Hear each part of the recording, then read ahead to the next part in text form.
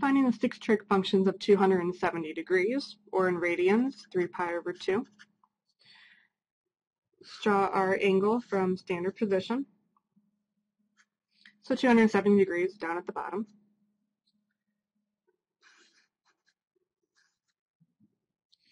Okay, let me grab a point on the terminal side of theta.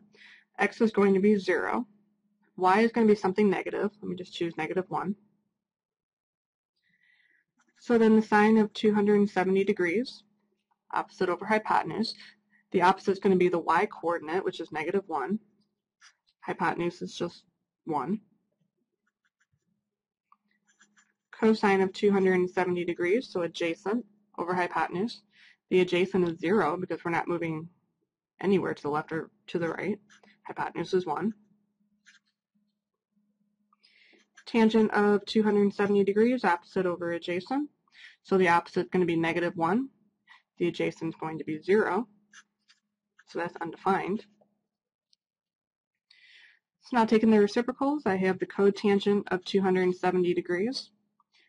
Reciprocal of negative 1 over 0 becomes 0 over negative 1, so that's just 0.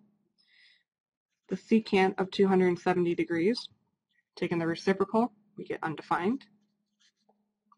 And then the cosecant of 270 degrees, take the reciprocal of negative 1, and we get negative 1.